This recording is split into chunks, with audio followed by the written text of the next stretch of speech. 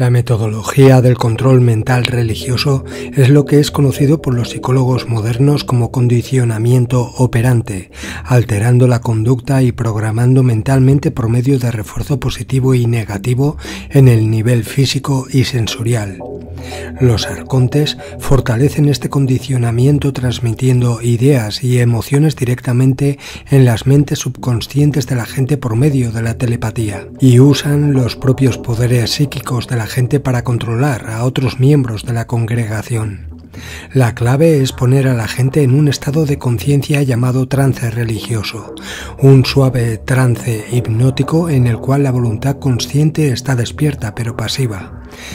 La gente en esta condición son completamente conscientes de lo que está sucediendo a su alrededor y están grabando estos eventos en sus memorias exactamente como si estuviesen en un estado normal. También son capaces de pensar y actuar voluntariamente, pero pueden hacerlo solamente dentro de ciertos límites muy bien definidos, sin quebrar el trance religioso y asumiendo conciencia normal. La identificación con una entrada sensorial puede hacer que la gente acepte cosas que rechazarían si fueran completamente conscientes, mientras la entrada no sea tan controversial o lo suficientemente desconocida como para quebrar su concentración. Cuando los creyentes religiosos dicen que sienten la presencia de Dios, se refieren a una comunicación telepática. La mayor parte de esta ingestión viene de otros miembros de la congregación. Esto es usualmente una influencia más poderosa que cualquier otra energía enviada por espíritus. Así, hay una especie de reacción psíquica en cadena que ocurre, ya que cada miembro de la congregación influencia las emociones y pensamientos de cada otro miembro, como una caja de cerillas que prende fuego o una reacción en cadena atómica. Este proceso crea una mente religiosa grupal, un egregor, este estado de éxtasis religioso genera grandes cantidades de energía psíquica. Parte de esa energía pudiera ser directamente absorbida por cualquier espíritu teocrático presente, cualquier arconte, pero la mayoría de esto es redireccionado de regreso a la mente psíquica de los miembros de la congregación para adoctrinarlos con lo que fuese que los teócratas, los arcontes, quieran que sientan o hagan. Esta es la esencia del control mental religioso. En otras palabras, un espíritu arcóntico, teocrático, envía un mensaje telepático a las mentes de las personas que entran en estado de éxtasis religioso y generan poderosas oleadas de gran alcance telepáticamente transmitidas, que los programan a creer y actuar según los mensajes que reciben. Por ejemplo, la idea de que el aborto es asesinato puede generar fuertes sentimientos de odio, mientras todos los cristianos deben ser como hermanos, pueda generar sensaciones de amor familiar entre todos los miembros de la congregación. La gente que está siendo controlada por este método lo disfruta más que cualquier otra cosa en la vida. Es altamente adictivo. Los teócratas o arcontes hacen el proceso de control mental religioso lo más adictivo posible para esclavizar a los creyentes. Todo el círculo vicioso de pecado, culpa y perdón fue deliberadamente diseñado para crear un ciclo de adicción que es casi imposible romper. La última cosa que los arcontes quieren para los creyentes religiosos es parar de pecar. Esto es la razón por la cual hacen del placer sexual un pecado. El deseo sexual se origina en el nivel bioquímico y no puede ser extinguido manipulando la programación mental. En este contexto, la mente es definida como la información guardada en el cerebro, el software para recuperar y procesar esa información. Los teócratas no confinan sus actividades a la religión y el ocultismo, sino que corrompen y controlan a los seres humanos a través de todas las actividades que producen ciertos estados alterados de conciencia. Los ejemplos incluyen usar medios electrónicos para propósitos pasivos recreacionales, escuchando música popular por la radio o grabaciones, viendo eventos de deporte televisados y shows de juegos y jugando los simples juegos de computadora. Los teócratas no solo conocen más acerca de la psicología que las otras personas. En una cruda analogía con computadoras, es como si la gente pueda manejar entrada y salida de datos, y algunos tienen las suficientes habilidades profesionales para modificar levemente algunos programas, pero los teócratas no solo conocen el software mucho más a fondo, sino que tienen un acceso mucho más fácil al modo de comando usado para modificarlo este modo de comando es la reacción telepática en cadena usada en el control mental religioso. Los psíquicos humanos entrenados también tienen acceso a él, al igual que los espíritus en el colegio invisible, pero es extremadamente difícil liberar a la gente del control teocrático, del control arconte. La mente de la persona promedia es operada por un software diseñado por los teócratas para mantener a la gente ignorantes de su existencia.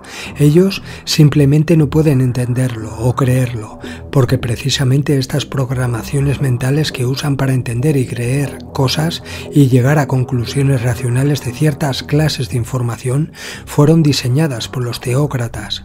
Los teócratas van refrescando y actualizando sus métodos y herramientas de control mental a los humanos. De otra manera, serían olvidados. Los programas mentales que se usan para sacar conclusiones de información sobre temas espirituales fue deliberadamente diseñada por los teócratas para que sea ilógica e irracional, para que parezcan ser de personas que son dementes.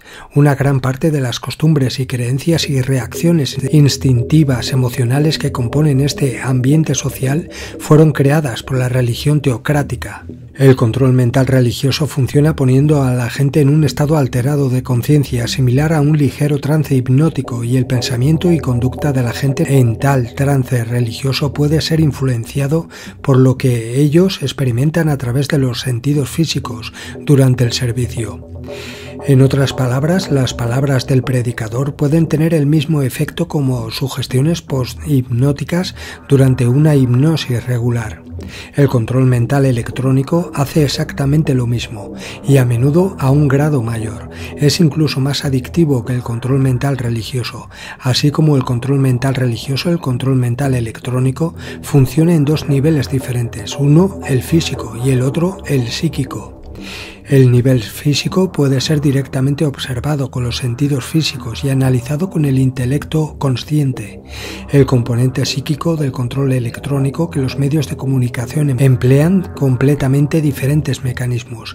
Se necesita tener cuidado para no confundirlos.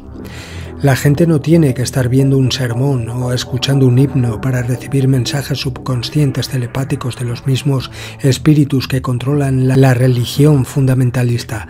Ellos solo tienen que estar en el correcto estado de conciencia alterado, el cual lo produce automáticamente la televisión y la radio en todos los miembros de la audiencia que no han aprendido técnicas específicas para prevenirlo.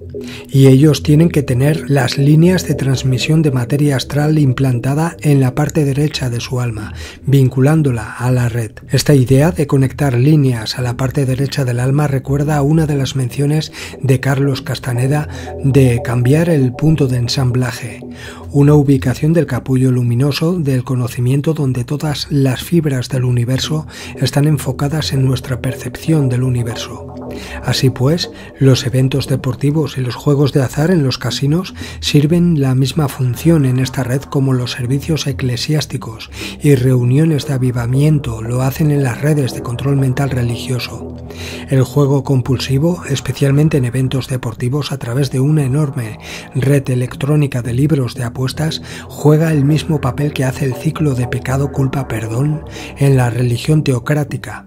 Y los teócratas están ahora activamente extendiendo esta forma de control mental. Muchos estados han legalizado varias formas de juegos de azar que conectan a la mente a las redes discretas, loterías estatales, carreras de caballos, incluyendo apuestas fuera de la pista, bingo, juegos de cartas, etc. No es accidental que los juegos de azar se extiendan tanto en el interior de la persona como en los niveles de los medios, al comenzar a declinar las iglesias fundamentalistas y el evangelismo televisivo. Los teócratas están cambiando su atención a actividades más naturales para las opiniones promedio y estilos de vida de los humanos de hoy en día. Los juegos de azar en los casinos de Nevada son uno de los más importantes campos de batalla en la guerra entre los teócratas y el Colegio Invisible. Una vez los espíritus teocráticos toman sus hilos de control sobre las personas jugando y apostando en los casinos, ellos continúan enviando mensajes telepáticos a las mentes de estas personas cada vez que ven ciertos programas de televisión, especialmente eventos deportivos y shows de juegos. El Colegio Invisible también usan los casinos de Nevada, pero no darán una descripción de lo que hacen allí, pero sí mencionan que por lo menos en 1988 las redes electrónicas de reprogramación de los teócratas y el Colegio Invisible tienen sus cuarteles principales en Las Vegas. Los teócratas están casi siempre en el lugar y el Colegio Invisible está casi siempre en el centro de la ciudad. A este punto ellos sugieren que Griffith ponga algún aviso para personas que disfrutan los juegos de apuestas recreativas. Griffith responde con el consejo que la gente que quiera apostar lo haga en juegos privados con amigos o en el bingo local o clubs de cartas, si tales son legales donde ellos viven.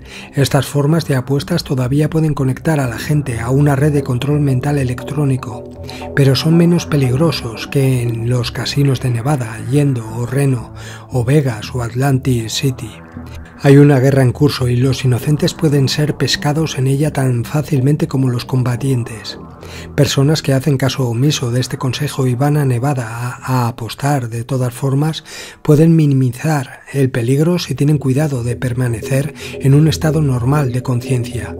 Esto significa no prueben las bebidas gratis y sobre todo no apuesten por más de una hora a la vez. Si usted se intoxica o se fatiga, los teócratas pueden ponerle a usted en el mismo tipo de trance que la gente que va a los servicios religiosos y comienza a lavarle el cerebro. Ellos también pueden hacerle perder más dinero del que usted tenía intención de arriesgar.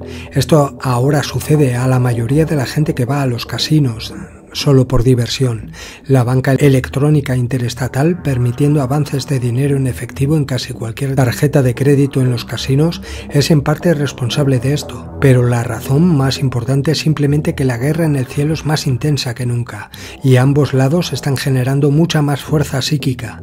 El juego es adictivo como el alcohol o las drogas. A los teócratas les encanta convertir a las personas en apostadores compulsivos. Esto satisface sus del mismo modo en que los vuelve adictos a Jesús, necesitando su inyección de perdón divino de los pecados. Hay un tipo de materia que tiene la misma estructura atómica y molecular que la materia física, pero cuyas partículas son mucho menos densas y su gravitación no interactúa con la materia física. Esto es llamado materia astral en guerra en el cielo. Cada ser humano tiene un alma somática similar al cuerpo físico, pero hecho de materia astral, y un alma astral también hecha de materia astral, que comprende el ser más permanente. Las almas astrales pueden igualarse al alto ser. Los espíritus son simplemente almas astrales funcionando sin almas somáticas ni cuerpos físicos.